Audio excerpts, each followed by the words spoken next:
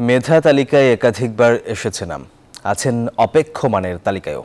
বগুড়া ও নওগাঁয় সরকারি স্কুলে ভর্তির লটারিতে ফলাফল প্রকাশের তালিকায় কয়েকজন শিক্ষার্থীর নাম একাধিকবার এসেছে। এতে ছাত্রছাত্রীদের অভিভাবক ও সচেতন মহলে চলছে আলোচনা সমালোচনা।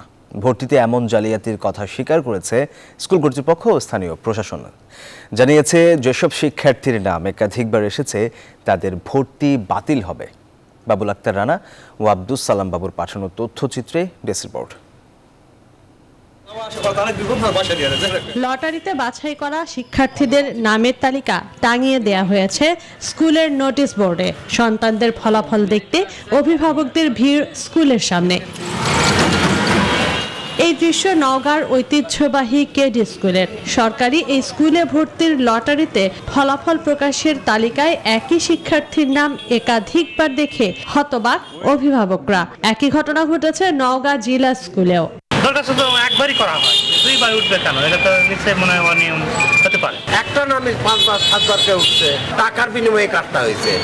শুধু নওগাঁ নয়, বগুড়ায়ও ফলাফলে দেখা গেছে একই শিক্ষার্থীর নাম এসেছে একাধিকবার। বগুড়া জেলা স্কুল এবং সরকারি বালিকা উচ্চ বিদ্যালয়ের ফলাফলে মিলেছে এমন তথ্য। বগুড়া সরকারি বালিকা উচ্চ বিদ্যালয়ে শর্মিলা আক্তার নামে এক ছাত্রীর নাম মেধা তালিকার প্রথম, দ্বিতীয় ও ষষ্ঠ সহ প্রভাতী ও দিবা শাখা মিলে পাঁচ বার রয়েছে। নাম ও ছবির সঙ্গে মিল থাকলেও তার রয়েছে আলাদা তিনটি জন্ম নিবন্ধন নম্বর।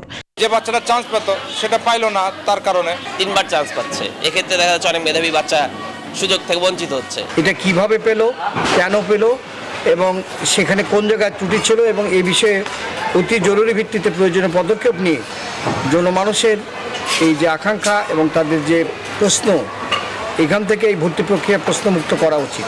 বিষয়টি নজরে এসেছে শিক্ষকদেরও। বলছেন যেসব শিক্ষার্থীর নাম একাধিকবার এসেছে তাদের ভর্তি বাতিল করার নির্দেশনা পেয়েছেন তারা। মিথ্যা তথ্য প্রদানের মাধ্যমে একাধিকবার নির্বাচিত হয়ে থাকলে জালিয়াতির কারণে তাকে ভর্তি করা যাবে না। অনেকগুলো করেই তুলেছে তা না হলে দুইবার তিনবার আসার কোনো সুযোগ ছিল না। মন্ত্রী মহোদয় বলছেন যে একাধিক যারা আবেদন করছে তাদের সকল আবেদন বাতিল হবে। চলতি বছর দেশে সরকারিতে এক লাখ সাত হাজার আটশো নব্বইটি শূন্য আসনের বিপরীতে আবেদন জমা পড়েছে ছয় লাখ ছাব্বিশ হাজার উনষাটটি ডেস্ক রিপোর্ট, নিউজ টোয়েন্টি